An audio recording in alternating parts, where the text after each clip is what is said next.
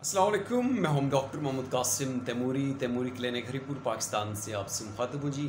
बालों से रिलेटेड सवाल बड़े आते हैं जी। डॉक्टर साहब, बाल गिरते हैं, बाल सफ़ेद हो रहे हैं। बाल आजकल तो बड़े छोटी उम्र के बच्चों को भी सफ़ेद हो रहे हैं, ठीक है?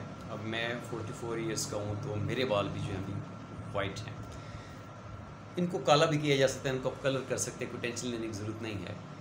लेकिन आप, अगर आप ये बाल गिरने लग गए हैं गंजा पाना आ रहा है तो ये एक परेशानी की बात ज़रूर है। तो इसके पीछे मुख्तलिफ़ वजूहत होते हैं। आपके बालों के अंदर कोई इन्फेक्शन हो सकती है, आपको खून की कमी हो सकती है बॉडी में मिनरल्स वाइटामिन की कमी हो सकती है। किसी इन्फेक्शन की वजह से आपके बाल गिर सकते हैं, ठीक है? टेंशन स्ट्रेस की वजह से बाल आपके गिर सकते हैं। इन्वायरमेंटल फैक्टर्स होते हैं। तो इन तमाम चीज़ों को हम देखते हैं किस टेकिंग करते हैं जिसके बाल गिर रहे होते हैं। मरूसी इसबाब होते हैं। तो तमाम चीज़ों का जायज़ा लेने के बाद उसकी पॉसिबल जो काजेज़ होती हैं, जब हमें उनका अंदाज़ा हो जाता है तो फिर उसके लिए हम ट्रीटमेंट रिकमेंड करते हैं।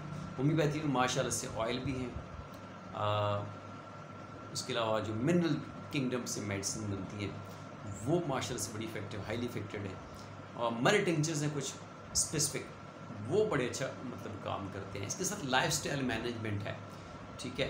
उसके बाद डाइट प्लान है। ये सब चीज़ें हम रिकमेंड करते हैं।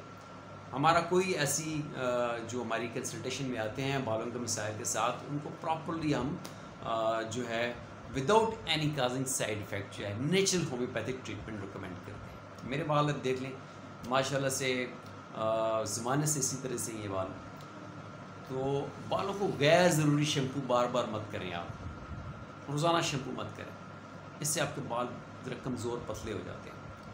ठीक दो तीन दिन बाद शैम्पू कर लें, कोई मसला नहीं है। लेकिन रोज़ अगर आप एक दफ़ा, दो दफ़ा नहाते हैं और शैम्पू करेंगे तो बाल आपके ज़रिए बात है वो गिरना स्टार्ट हो जाएँगे, वीक हो जाते हैं। क्योंकि ये नेचुरल प्रोडक्ट नहीं है, ये इंडस्ट्रीज़ में तैयार होती हैं, इनके अंदर केमिकल्स होते हैं।